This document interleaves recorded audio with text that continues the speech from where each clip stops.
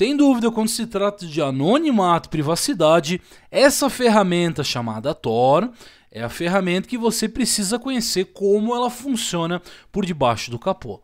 Se você nunca ouviu falar dessa ferramenta, hoje eu vou explicar para você um pouco de história e como ela realmente funciona. Jeff, eu não entendo nada disso. Fica aí que eu vou mostrar para você todo o processo. Então você já deve ter visto, né, ouvido falar sobre é, a Dark Web, a Deep Web, o submundo da internet. A gente vai hoje falar sobre esse cara aqui que ele faz uma conexão em uma outra rede, não na nossa rede convencional que a gente está habituado. Por exemplo, quando você acessa o youtube.com, você está na rede convencional, né? É, na internet convencional. Quando você acessa com o Tor, você já pode sim usar a nossa, a nossa rede que a gente sempre acessa, né, convencional, ou a gente pode entrar num outro caminho e usar uma subrede, uma coisa que é própria, uma rede própria, uma rede privada tá bom? Então o Tor, ou The Onion Routing, ele foi criado em 1990 pelo Laboratório Naval dos Estados Unidos. E por quê? Porque é, o governo, né, eles estavam cansados e viram que a internet era um, uma coisa insegura, tá? E por quê?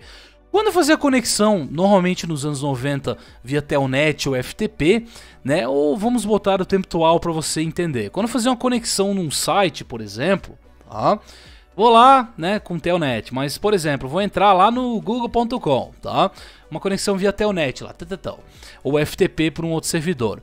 Uma pessoa se ela tivesse ali no meio, tá? Vendo o que você está fazendo, vasculhando a sua, a sua rede, ela conseguiria ver tudo que você passasse para esse servidor. Por exemplo, um usuário e senha, ele iria conseguir ver de uma forma bem clara, tá? E é muito fácil fazer esse tipo de coisa. A gente tem muitas ferramentas muito boas para fazer esse tipo de coisa. E nos anos 90 também tínhamos boas ferramentas. Então o governo dos Estados Unidos fez isso, tá? Essa ferramenta, o roteamento cebola, é justamente para privar as coisas, para deixar mais anônimo e conseguir trocar de uma forma criptografada documentos e mensagens. Vamos fazer uma conexão comum nos tempos atuais aqui, tá?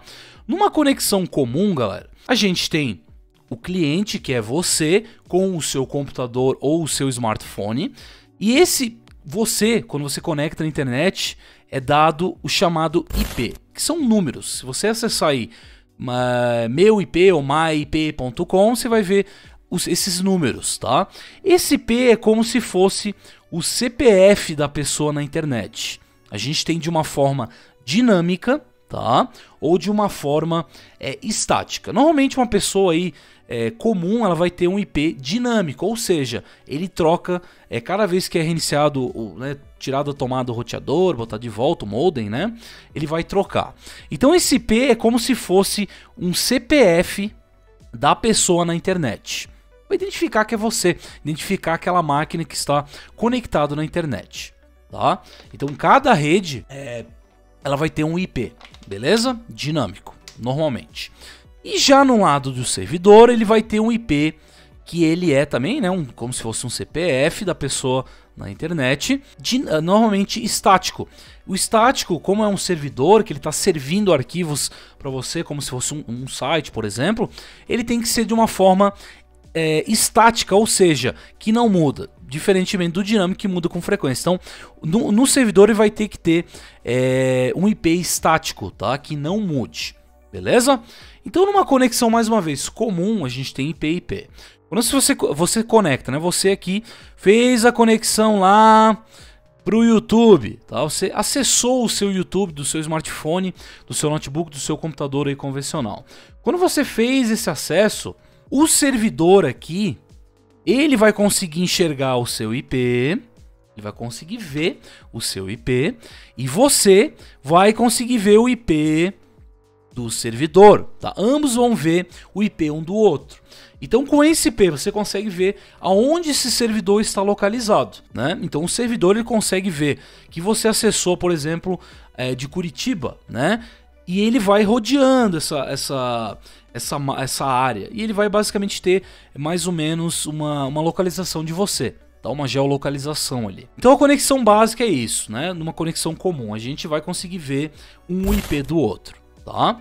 Já se tratando dessa parte aqui, a gente vai já falar do HTTP e HTTPS também, já pra gente não ficar mais com dúvida. Então quando você faz conexão, beleza, tem o IP ali, o CPF, e quando você faz a requisição para o servidor, tá? Você vai lá, acessa lá, Facebook, eu nem acessei, mas facebook.com. Você está fazendo a requisição para o servidor do Facebook, né?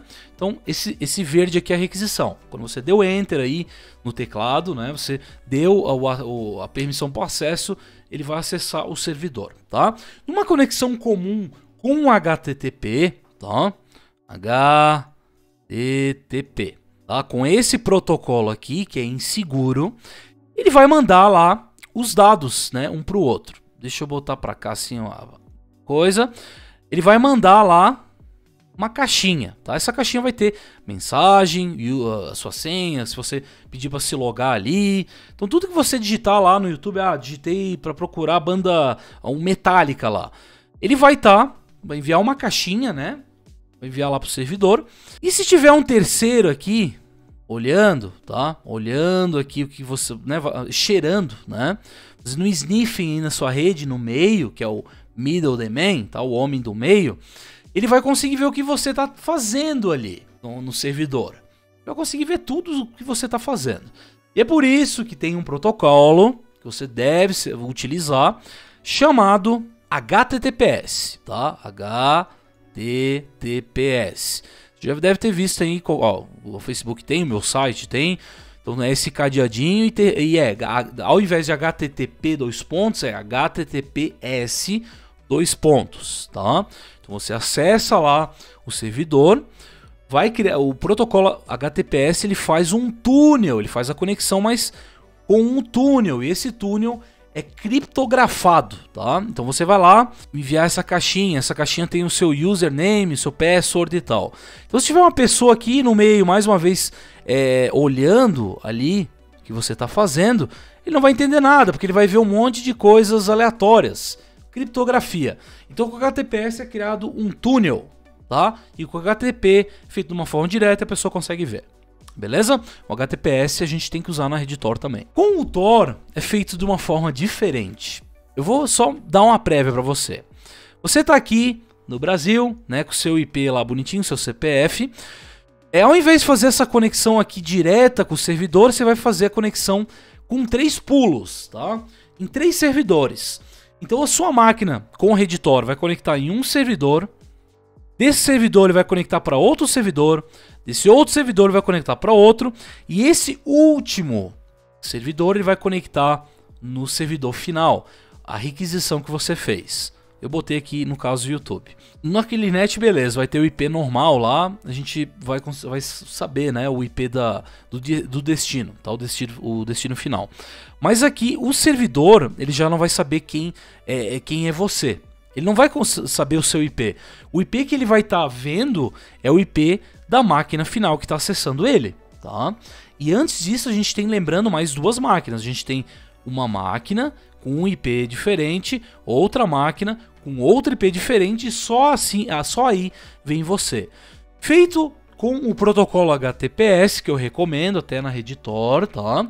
A gente vai estar tá fazendo a conexão toda criptografada. Então, entrada, meio, saída toda criptografada, tá bom? Então, se tiver um terceiro ali olhando, ele não vai conseguir saber o que você está fazendo. Claro que tem técnicas, galera. Eu posso fazer um vídeo mais técnico é, abordando sobre é, uma, uma, uma, saída, né? Que seja comprometida, uma entrada, uma saída, ou só uma entrada. É, eu consigo abordar sobre isso também. Mas aqui, como é para pessoas que não sabem nada do Tor praticamente, querem saber como funciona mais ou menos, eu vou estar tá passando dessa forma. Então, um servidor ele vai estar tá vendo da máquina final. Quando a gente conecta no Tor, ele é feito um circuito com três máquinas, isso é padrão, tá? A gente pode alterar, botar quatro, cinco máquinas. Quanto mais máquinas, mais lento e dependendo da localidade, tá? Então esse circuito é gerado de uma forma totalmente aleatória, com máquinas espalhadas pelo mundo. Hoje a gente tem muitas pessoas que se conectam, temos muitas máquinas espalhadas pelo mundo, é, e cada máquina não importa onde esteja. Então, por exemplo, você vai fazer a conexão aqui com a máquina 1, tá? A gente chama de Ent Guard, tá? Ou é, relay de entrada, tá? Eu vou botar um E aqui de entrada, ó. Essa máquina ela pode estar localizada na França. Vou botar FR aqui.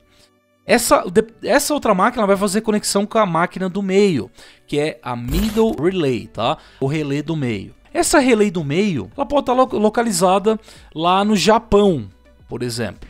Então, M aqui de Middle Relay.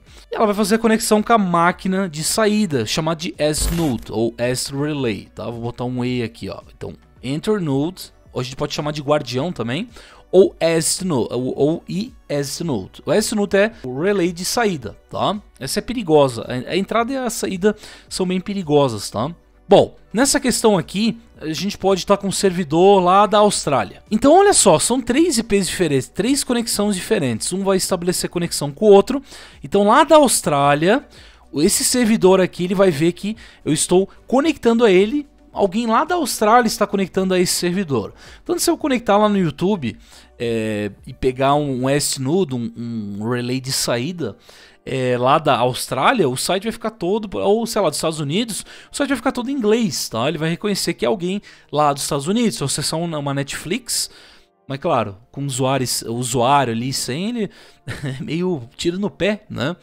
Até porque se botou o cartão de crédito, algo do tipo, ele sabe quem é. Então o anonimato é quebrado nessa parte, fica só questão de privacidade.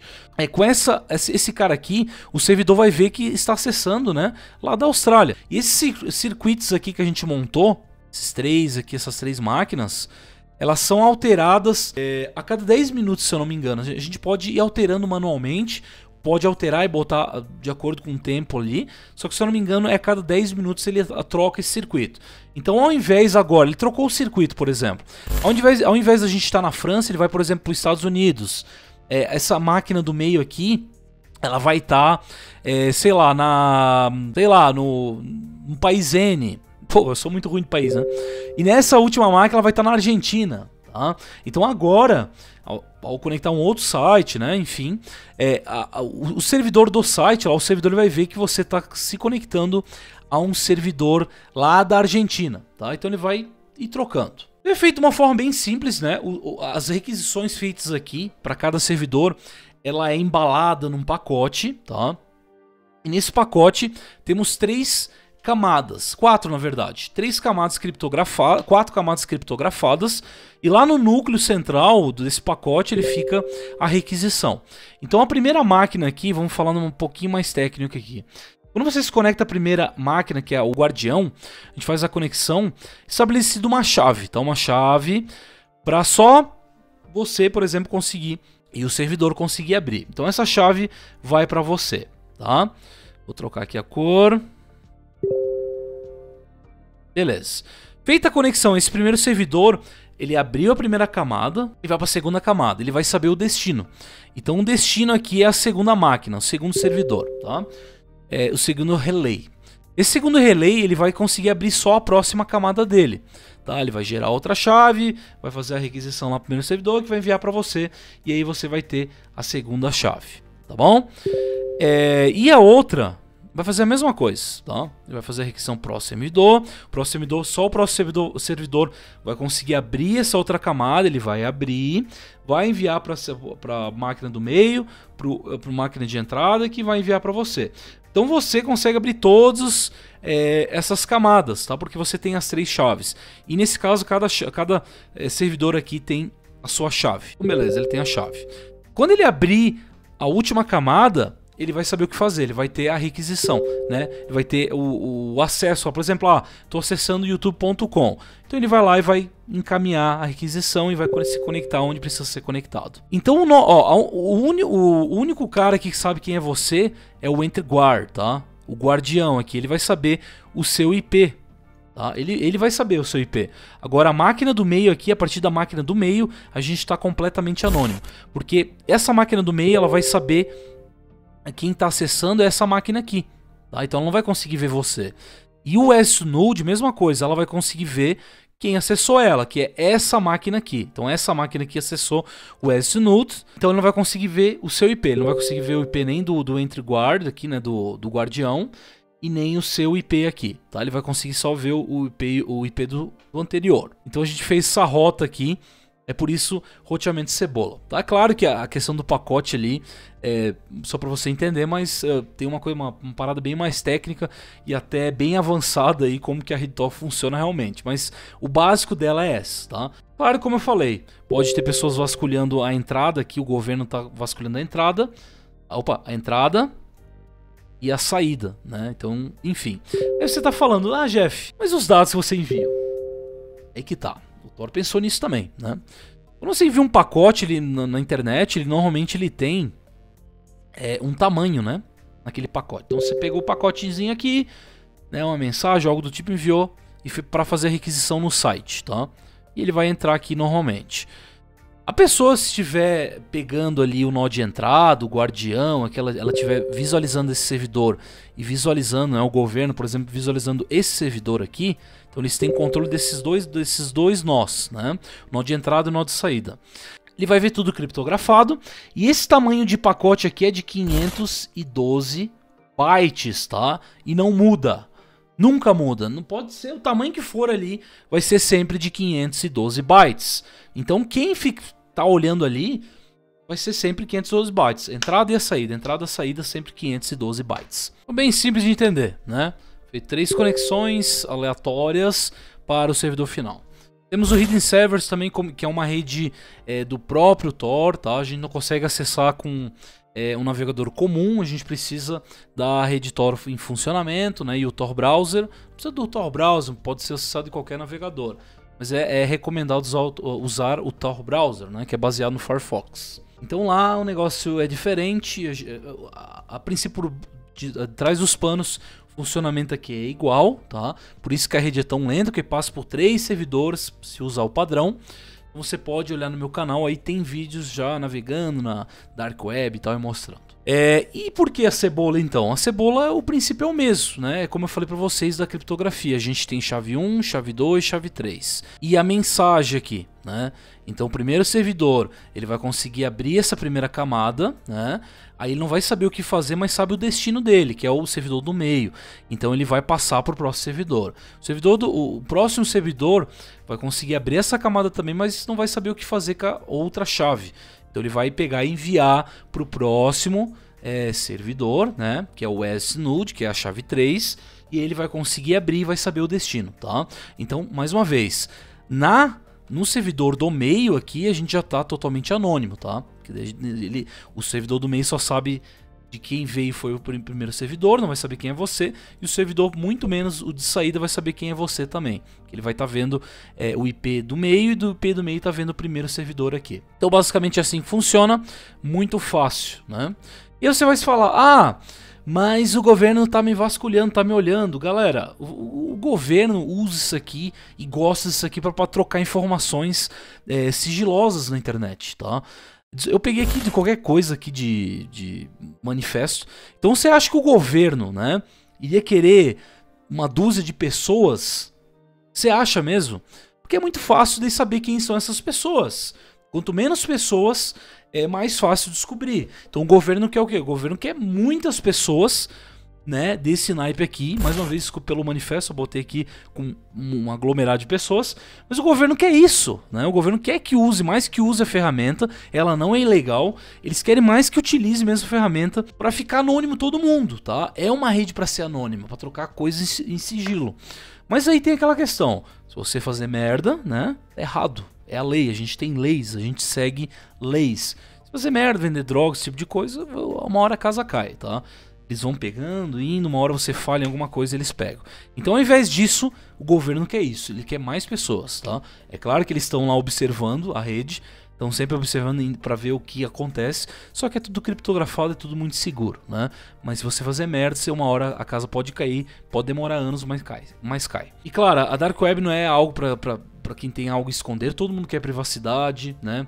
a gente pode dar um pulo a mais com anonimato. Então todo mundo quer ter mais um pouco de privacidade e anonimato, justamente por causa das big techs, estão sempre vasculhando o que a gente está fazendo, capturando dados e vendendo, né? Então eles estão ganhando bilhões com as suas informações. Galera, se você quer aprender mais sobre Linux, é, programação, acessa lá slackjeff.com.br, meu site, vem meus cursos aqui, ó.